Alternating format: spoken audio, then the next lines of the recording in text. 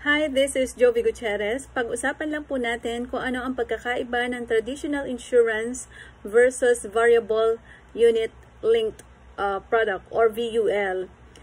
Ang traditional po kasi, uh, sa connotation ng marami, na kapag kumuha sila ng ganong insurance, uh, ma-enjoy lang nila kapag or ma-enjoy lang ng family nila kapag namatay sila. Pero iba-iba naman po ang product ng traditional insurance. Meron din naman po na merong um, living benefit and then halimbawa tumanda sila, kailangan nila ng pera, pwede po sila mag-policy loan. Or kaya, pwede nilang uh, isurrender yung policy and then makukuha nila kung magkano yung cash value. Ngayon, sa VUL naman po, uh, kapag halimbawa kumuha ka ng VUL, may certain amount na uh, sum insured.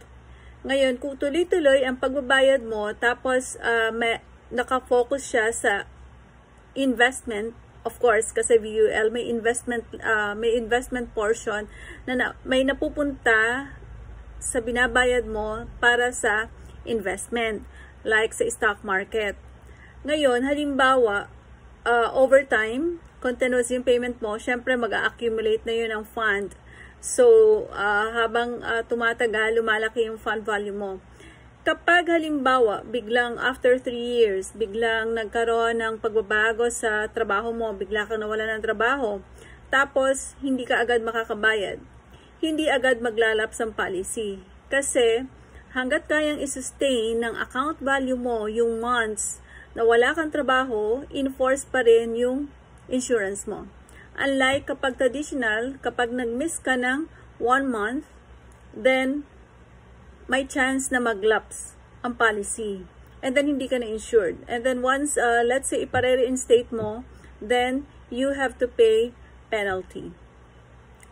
Dati kasi, nakakuha ko ng traditional insurance. Uh, it's different companies naman.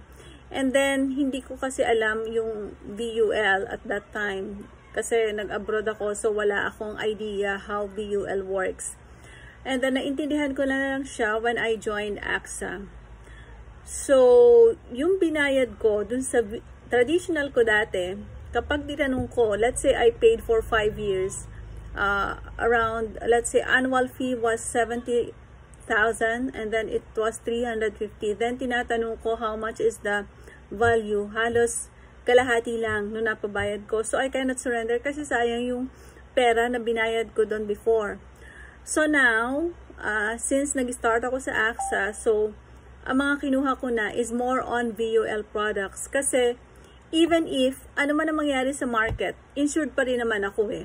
Kaya nagtataka ako dun sa maraming tao na uh, bumagsak lang yung market, nagagalit na sila kasi uh, bakit daw gano'n na uh, ganito pala yung VUL na ano um, bumababa yung account value. Siyempre, dapat po na-explain ng maayos yon ng financial advisor nyo that investment or the fund value or the account value will change depende sa performance ng market. But then, if you will compare now the prices of the investment fund uh, 2 to 3 years ago, mababa po talaga.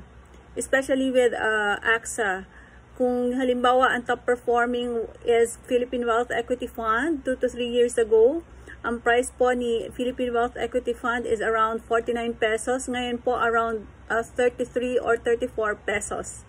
So imagine. So mas magandang mag-take ng opportunity to get a VUL product now. And then dapat po ang investment is a long-term process. So kung mag invest ka, dapat hindi yung kakailanganin mo in the next few years. Dapat yung kaya mong i uh, mawala or kaya mong uh, hin- mabuhay nang hindi ginagalaw yung fund na yon. Kasi investment should be at least 7, 10, or 15 years kung gusto mo talagang ma-maximize ang fund mo. Now, kung gusto mong malaman kung ano yung pwede namin i-recommend sa'yo, pwede mo po akong i-message para po makapag-set tayo ng virtual meeting or we can do face-to-face -face meeting na uh, in the nearby areas. Our services is free, no commitment, and we will be glad to assist you. Just message me for any questions. Thank you.